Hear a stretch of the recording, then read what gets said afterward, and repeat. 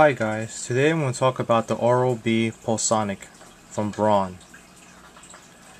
You see the, the head goes, attaches here.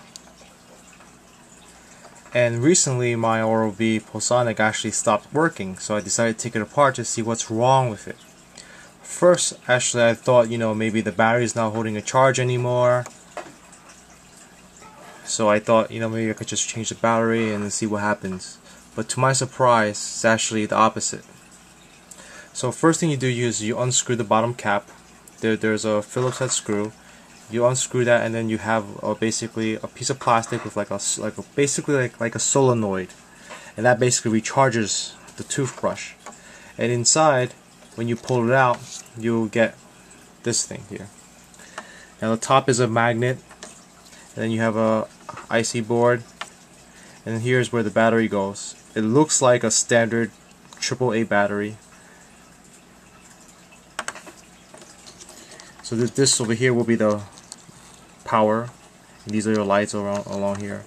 So basically, the battery goes here, which is this. Made in China orange battery. Then you have this, which goes on top, and it's supposed to spin, and that creates the rumbling effect, or pseudo vibrations. So to my surprise actually when I took this out, this is supposed to be a 1.2 volt battery with 700 milliamp hours and the battery is supposed to last 3 to 5 years.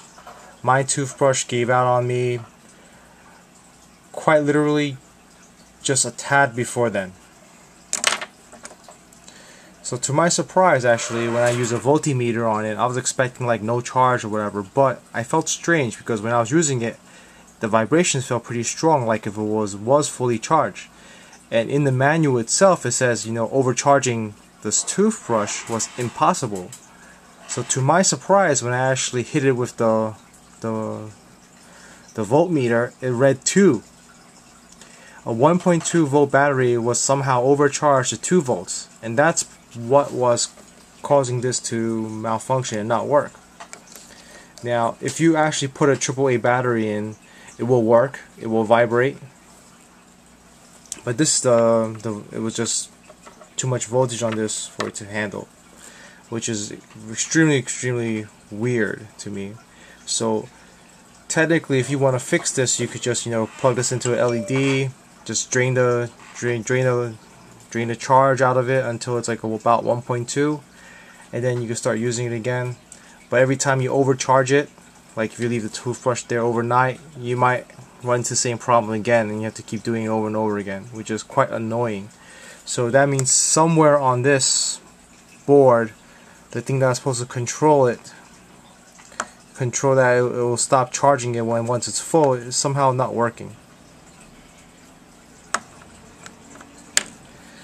And once you open this up it's not quite as waterproof anymore and the battery is kind of soldered on so you have to actually if you do use a AAA battery you have to you know desolder it and then solder it back on every time or put a rechargeable AAA battery in.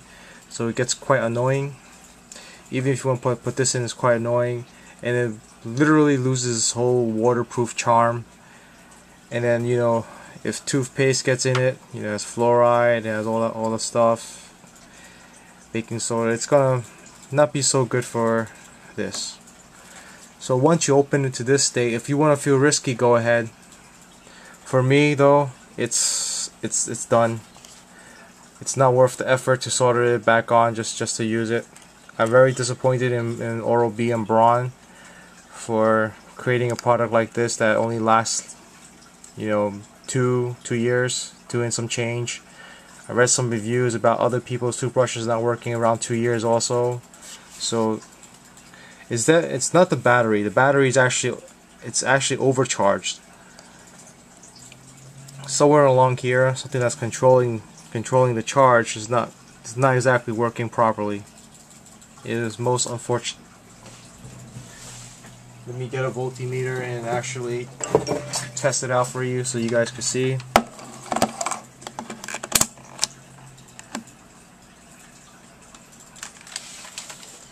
Alright.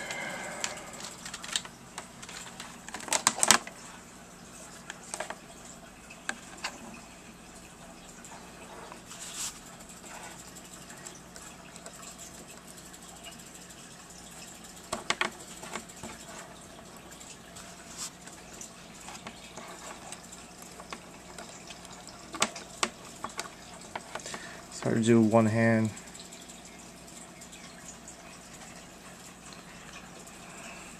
As you can see, is right now it's 1.9. That's because I'm actually touching the connections too.